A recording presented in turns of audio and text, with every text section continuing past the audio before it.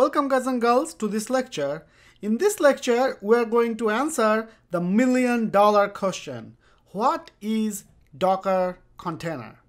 All right, let's try to understand this with an actual example. So you are the almighty happy developer and you develop some code for your project in development environment and the runtime engine for your development environment is Python 3.8 and you are importing a couple of dependencies, uh, maybe requests, and maybe kitchen sink. And you also have a configuration file with the DNS service name and the database connection. So everything works great in the development environment. Then you move your code to the test environment. In the test environment, the runtime engine is Python 3.6. So one of your code dependency works, but the other one, maybe the kitchen sink one, breaks. And your configuration file, the format, it also works. So you are thinking, all right, I need to change the code a little bit. I guess that's okay. Then one fine day, your code gets moved into prod. So prod runtime engine generally is always behind. So in prod, your company is running Python 2.7. So there, both of your dependencies break, the configuration file breaks, and basically your code is crashing and burning at this point. so you are thinking, why did I take this job? So at this point, there are two kinds of developers. No judgment here.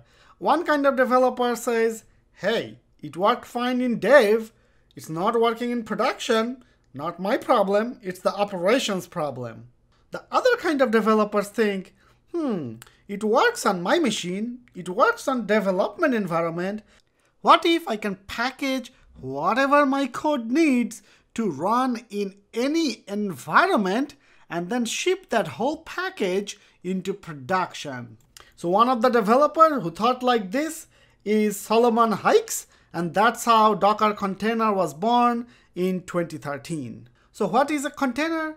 A container is an atomic self-contained package of software that includes everything it needs to run. Code, runtime, libraries, packages, etc. Before we go further, lot of the folks are confused about the term Docker image versus container. So let's clear it up.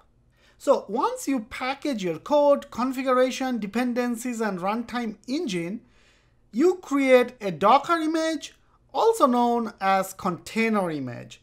At this point, your application is not running. You just have the image of your application. And when you run the Docker image or container image, it creates a container. So let's understand the big picture. So this slide is very important. Make sure you understand the flow. So in the beginning, you have your app. Maybe it's written in Java or Python or any other language.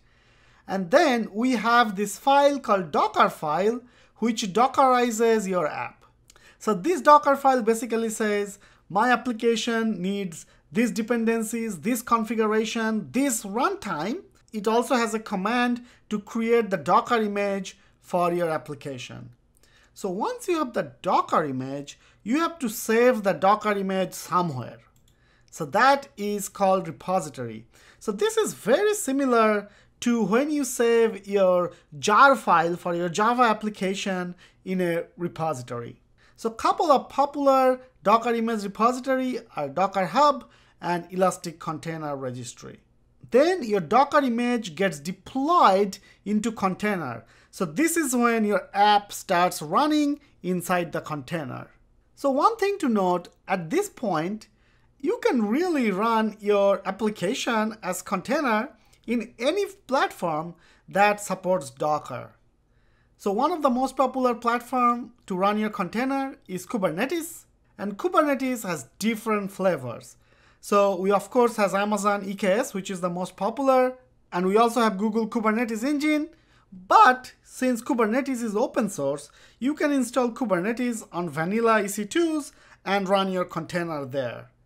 And that's not it. You can run into any Kubernetes cluster implementation, even on-prem.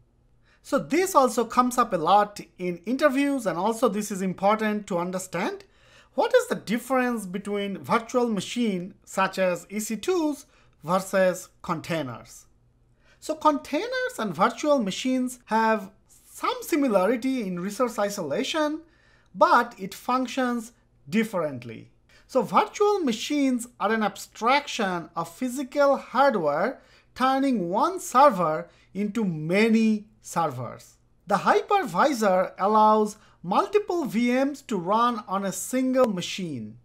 But here, the VM has your application, uh, the libraries and runtimes, but it also has to have a guest operating system. And this guest operating system takes up tens of gigabytes of space. Also, this operating system can be slow to boot. So now, if we take a look into container, containers are an abstraction at the application layer that packages code and dependencies together. Multiple containers can run on the same machine and share the operating system kernel with other containers. So since in this case, we don't need to package up a guest operating system into our container, it takes way less space than your VM. So that's why even though the size of the underlying server is same for these two diagrams, I have put way more containers than the VM. So what are some of the advantages of Docker container?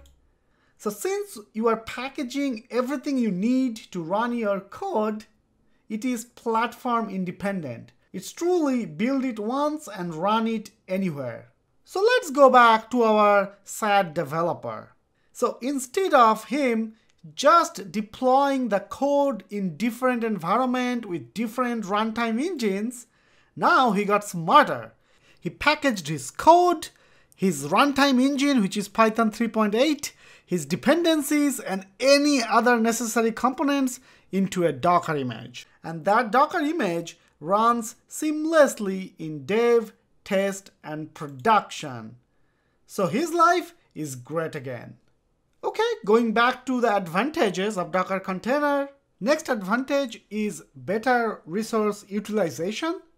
Since containers do not require a separate operating system, they use much less resources than VM. This makes it possible to run many more containers than VM on a single server. And since containers have a higher utilization level with regards to underlying hardware, you require less hardware, resulting in a reduction of costs.